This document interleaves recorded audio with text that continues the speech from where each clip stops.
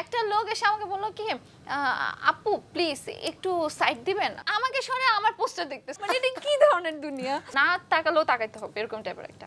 এখন যদি হলে যে ছবিটা না দেখেন তাহলে কিন্তু খবর আছে। কোনো খবর নাই ভাই প্লিজ আইসেন তোমার ইচ্ছে ছিল জনপ্রিয় মানে পরিচিতি হ্যাঁ, পাওয়ারটা হ্যাঁ, তোমার ইচ্ছে ছিল। আর তোমার ইচ্ছে ছিল যে বিলবোর্ডে তোমার ছবি থাকবে নিজেকে তুমি এরকম করে দেখবে। সবাই চিনবে কিন্তু সেটা যে হিরোইন হিসেবে চিনবে এটা আসলে ধারণা আসলে আমাদের অ্যাম্বিশনটা। বেসিক্যালি একই ছিল ধরা ফেমাস হওয়াটা ছিল।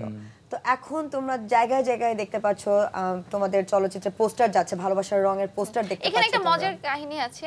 পোস্টারের কথা তুমি যখন বললা মানে আহ, আমাদের বেলি রোডে মানে সব জায়গায় তো পোস্টার এখন তো বেলি রোডের একটা জায়গায় একটু বড় করে একটা পোস্টার দেওয়া আছে।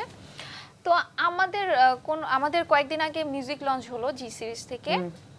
তো আমি সেখানে যাচ্ছি ওই ওই পারপাসে যাচ্ছি। তো আমি এত জ্যাম রাস্তায় আমি করেছি গাড়ি থেকে নেমে দৌড়ানো শুরু করছি যে মানে খুব দেরি হয়ে গেল।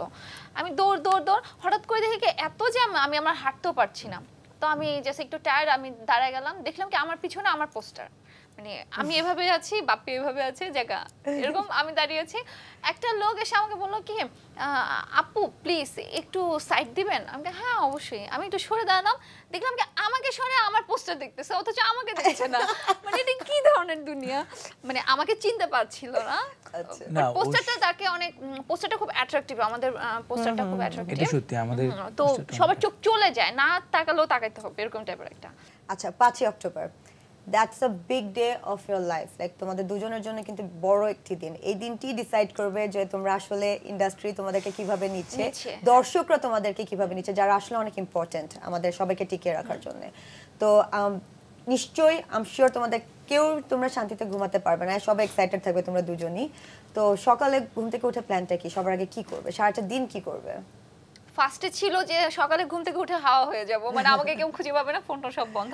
এখন হচ্ছে যে না আমরা দুজনে পরে ঠিক করলাম যে না আমরা আমাদের আমরা দুজন তারপর জাজ মাল্টিমিডিয়া শীষ ভাইরা সবাই ঠিক করলাম যে না আমরা একটা আহ, মানে চার্ট করব যে আমরা কখন কোন হলে যাব। আমরা সারা দিন একটা একটা গাড়ি নিয়ে প্রত্যেকটা হলে হলে ঘুরবো। ইভেন দেখব যে মানুষের রেসপন্সটা কীরকম। অনেক অনেক কষ্ট করেছি অনেক অনেক আশা ভরসা নিয়ে শুটিং করেছি। প্রত্যেকটা প্রত্যেকটা দিন গুনেছি যে কবে রিলিজ হবে কবে আমাদেরকে সবাই চিনতে পারবে কবে কবে আমাদের অভিনয় সবার ভালো লাগবে। সো এত কিছু চিন্তা করে এত পরিশ্রম করে মাথার ঘাম পায়ে ফেলে শুটিং করেছি অভিনয় করেছি। আহ, এখন যদি হলে যে ছবিটা না দেখেন, তাহলে কিন্তু খবর আছে। এক ফুটও খবর নাই। আপনারা অবশ্যই হলে যে ছবিটি দেখবেন। কোনো খবর নাই ভাই। প্লিজ আইসেন